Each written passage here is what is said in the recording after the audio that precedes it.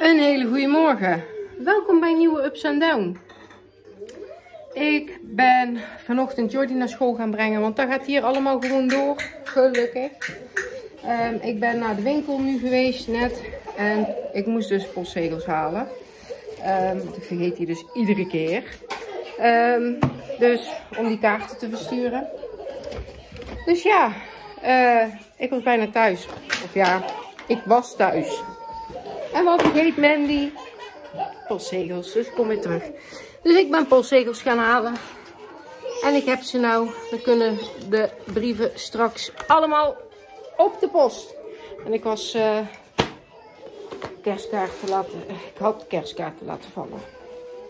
En Liam die is vandaag heel onmogelijk. Ik weet niet waar hij last van heeft. Ik denk uh, aanstelleritis of zo. Maar die is zomaar aan het uittesten nu. Oh, zo verschrikkelijk irritant.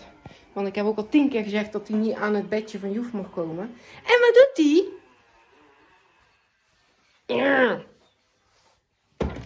Liam, mama heeft jou gezegd dat dit niet mag. Joef? Potverdorie. Je bent echt vervelend. Vervelend, jong. Hier is nog een vervelend kind. Want die gaat weer de keuken in. Je bent vervelend. Ik denk dat je me aan het einde van de dag op kan sluiten. Momenteel. Ja, Sam, jij krijgt ook. Liam met poffertjes. En Sammy ook. Sammy doet lekker zelf pakken. Lekker! Mm. Lekker hè? Auto. Lekker.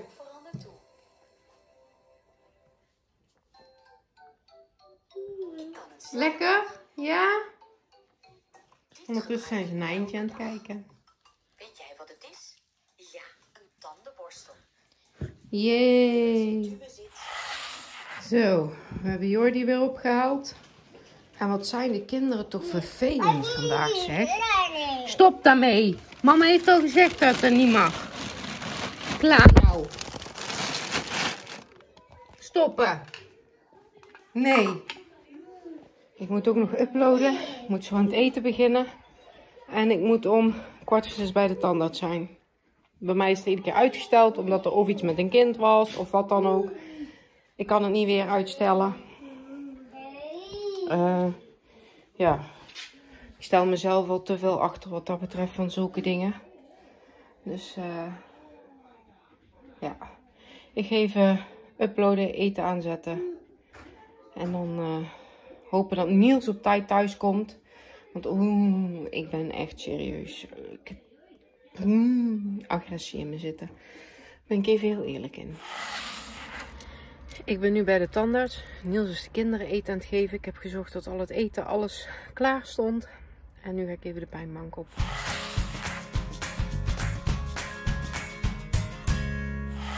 Nou, ik ben dus weer thuis. Ik heb de kaart op de bus gedaan. Ik heb uh, op de pijnbank gelegen. Hij heeft goed de gakken gehad. Zal zeggen. Maar goed, uh, nou, ik heb dus op de pijnbank gelegen en ik had geen gaatjes. Dus uh, wat dat betreft, uh, toppie. Dan ga ik nu heel even eten, want ik heb honger.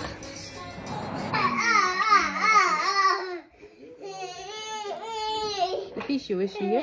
En dan hebben we een mondkapje op. Jij niet, hè? Nee. Maar Niels is nog thuis, want... Ik ga Jordi daar wegbrengen. En daarna gaan we naar het radbouw toe.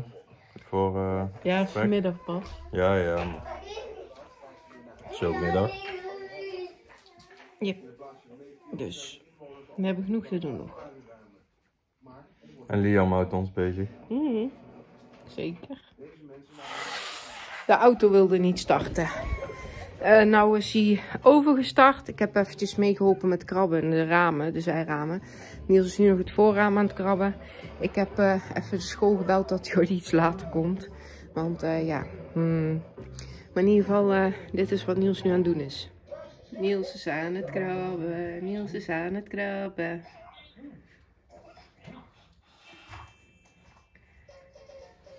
Maar één ding moet ik wel zeggen. Wij wonen in een straat waar we elkaar allemaal helpen. En dat is wel echt zo gigantisch fijn. Dus ehm, hier waren alweer twee buren die ons bereid waren te helpen. Maar dat is andersom ook. Als eh, de buren hulp nodig hebben, zijn wij er ook voor hun. Dus eh, we helpen elkaar gewoon. En dat maakt deze straat waar wij wonen maakt zo fijn.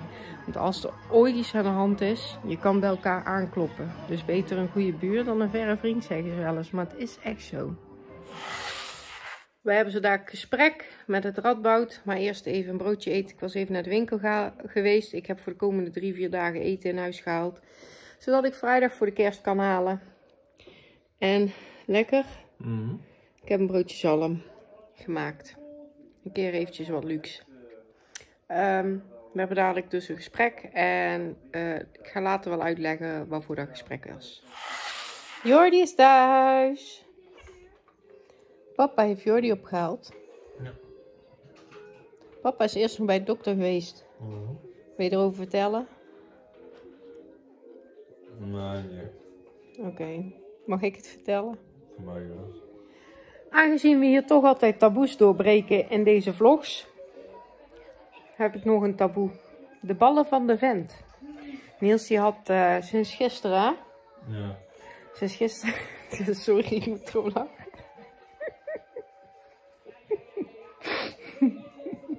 Oh, dat is eigenlijk heel vals van mij dat ik erom moet lachen. Maar ja, mijn bevallingen, daar heb jij ook om zitten lachen. Omdat ik gescheten had met mijn bevalling. Nou, ik niet om zo te lachen. Oh, we horen gebeld. Ik werd even gebeld door de juffrouw van Jordi. Niks belangrijks. Maar moest eventjes eh, iets besproken worden. Maar eh, over Niels. Ik moest daar heel erg om lachen.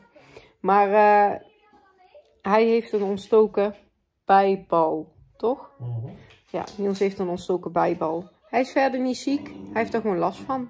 Nou ja, prima. Dat kan. Jordi heeft ook ooit een ontsteking aan zijn bal gehad, toch? Mhm.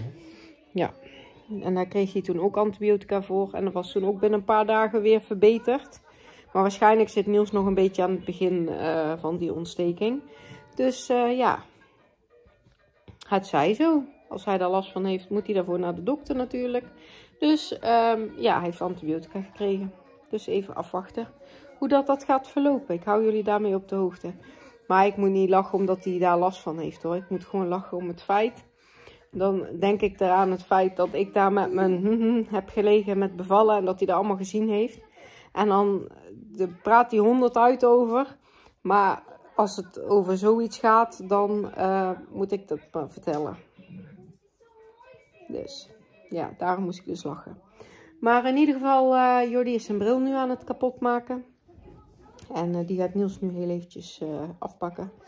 En ehm, ik ga zo dadelijk hier verder even opruimen. Sammy is ook al wakker. En eh, Liam slaapt nog, want die had eh, nog tot eventjes eh, zitten babbelen in zijn bed. Dus, maar goed, dat dus.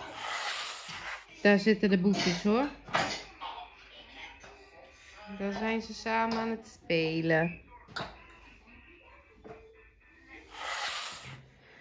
Niels die heeft eh, van zijn werk een eh, kerstpakket gekregen. En dan mochten ze zelf uitzoeken hoe en wat. Nou, eigenlijk vond Niels het allemaal niks. En hij weet dat ik van rituals hou. Dus eh, hij heeft voor mij eh, zijn kerstpakket besteld. Dus niet Niels heeft een kerstpakket gekregen, maar ik heb een kerstpakket gekregen. Yep. Dat doen mannen om hun vrouw tevreden te houden. Die staat daar. Die ga ik dadelijk uitpakken. Eh, ondertussen is Jordi zijn fles aan het drinken. Sam en Liam die liggen al op bed. En Jordi is gedoucht. Liam en Sam zijn gedoucht. Heeft Niels allemaal gedaan. Ik heb het niet gehoeven, want ik lag al eh, half uh, verpampus. Dus ehm, Niels die heeft eh, de papa ding gedaan. Ja. En het was heel goed gegaan met Jordi. Ja, dat was echt heel goed gegaan. Dan ga ik iets vragen. Hoe is het je bal? Goed? Ja? Geen pijn of Ja, als ik zo lig niet. als je beweegt wel? Ja. Ja. Dus, eh, Maar één voordeel is. één voordeel is. Ik heb ook heel de dag pijn. Dus we kunnen elkaar de hand schudden. Ja. Maar goed, zo doen we toch ons eigen ding. Wat we moeten doen in het gezin. Maar als hij nou echt ziek, ziek, ziek, ziek, ziek is. Dan eh, prima. Lekker laten liggen. Maar goed, de kindjes zijn dus lekker gepadderd. Jordi die eh, gaat daar ook naar bed. En ik ga zo het kerstpakket uitpakken. Dus uh, Jordi naar bed brengen. En er was dus een doos binnengekomen. En daar zit dus allemaal van die papierzooi in, hè?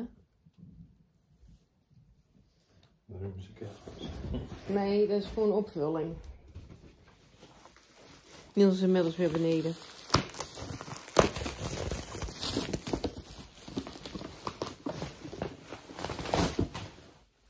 Oh, ik heb de band afgetrokken. Ja, boeien. Hè? Nee, niet boeien. Beste collega, we zijn, weer zijn wij in staat gebleken om een uitdagend jaar fantastisch af te sluiten. Mede dankzij jouw inzet en loyaliteit. Hartelijk dank hiervoor. Wij wensen jou een hele fijn, wij wensen jou hele fijne feestdagen en een gezond en gelukkig 2022. Blijf gezond en geniet van je pakket. Een welgemeende kerstgroet. Goed. Nou, het is dus eh, zo'n pakket van rituals. En eh, ja, mama blij, papa blij, kindjes ook blij, hè? En wat zit er precies allemaal in?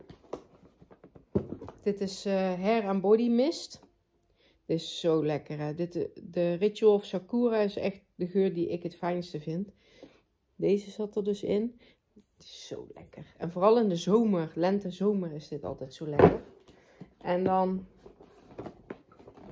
zit er een eh, foaming shower gel in. Is gewoon een, een, een douche eh, gel.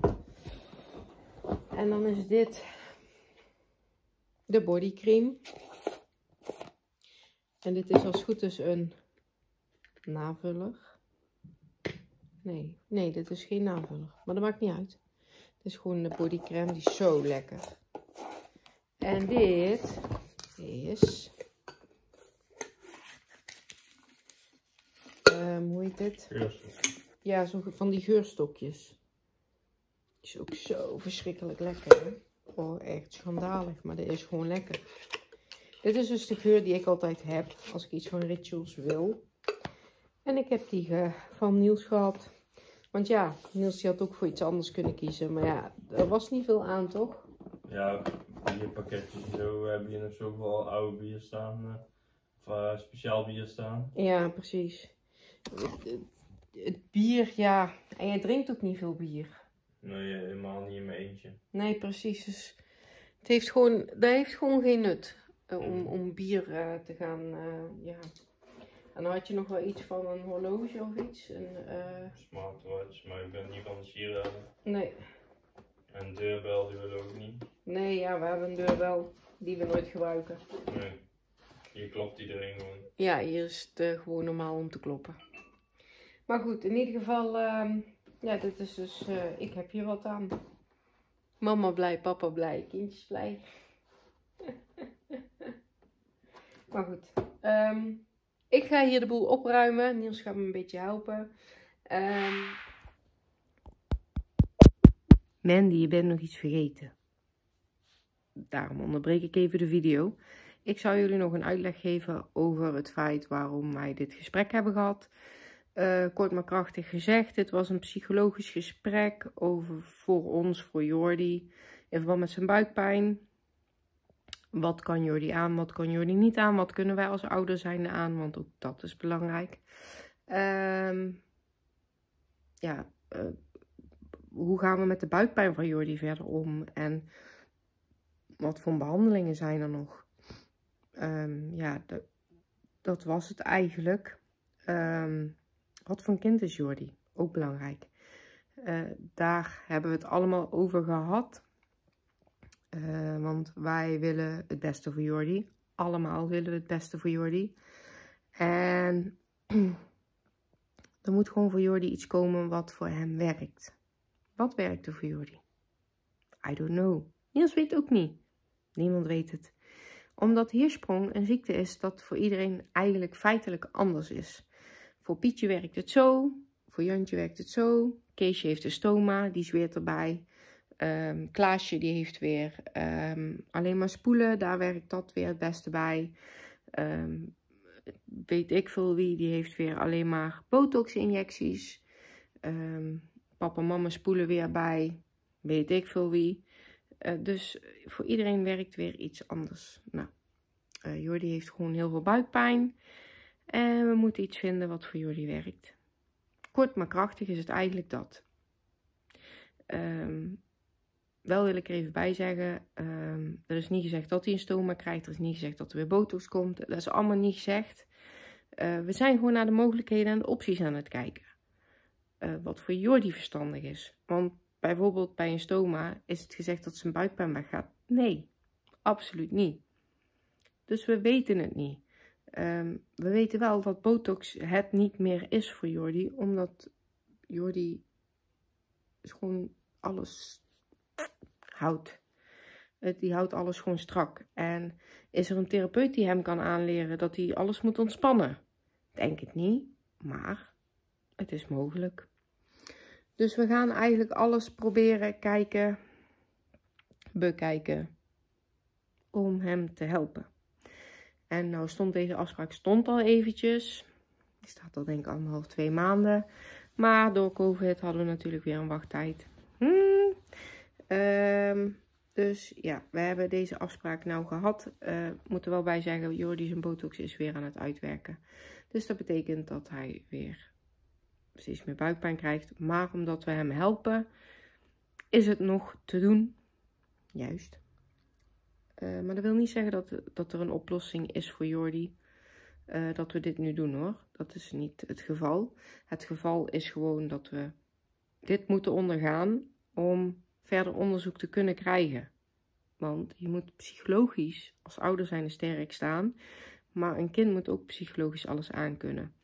Dus hun gaan ook de school van Jordi um, bellen. En uh, de fysio bellen van Jordi. Van, hey, hoe is Jordi? Wat voor een kind is Jordi? Klopt het wat papa en mama zeggen? Um, is het zo en zo'n kind?